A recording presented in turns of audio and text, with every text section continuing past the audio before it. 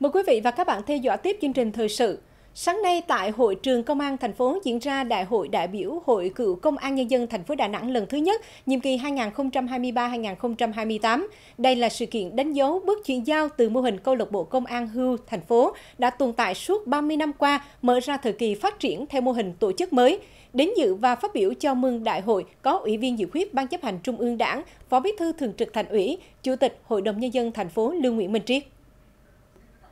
Tiền thân là câu lạc bộ Công an hưu Đà Nẵng, 30 năm qua đã không ngừng lớn mạnh, xây dựng tổ chức ngày càng chặt chẽ, đảm bảo mô hình hoạt động ở 3 cấp, tập hợp ngày càng đông đảo hội viên tham gia. Đến cuối tháng 11 năm 2022, câu lạc bộ có 1.769 hội viên, tăng gấp hơn 10 lần so với khi thành lập.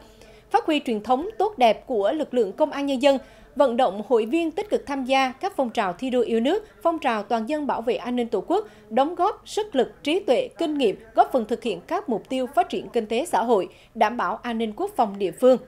Phát biểu tại đại hội, Phó Bí thư Thường trực Thành ủy, Chủ tịch Hội đồng nhân dân thành phố Lưu Nguyễn Minh Triết nhấn mạnh, Cựu công an nhân dân là những người đã trải qua chiến đấu, rèn luyện và trưởng thành qua quá trình thực hiện nhiệm vụ bảo vệ an ninh Tổ quốc, bảo vệ trật tự an toàn xã hội, đã có những cống hiến to lớn cho sự nghiệp đấu tranh giải phóng dân tộc, xây dựng và bảo vệ Tổ quốc nói chung và xây dựng phát triển thành phố nói riêng. Lãnh đạo thành phố luôn trân trọng, đánh giá cao những đóng góp quan trọng của đội ngũ cựu cán bộ chiến sĩ công an nhân dân trong sự nghiệp xây dựng và phát triển thành phố.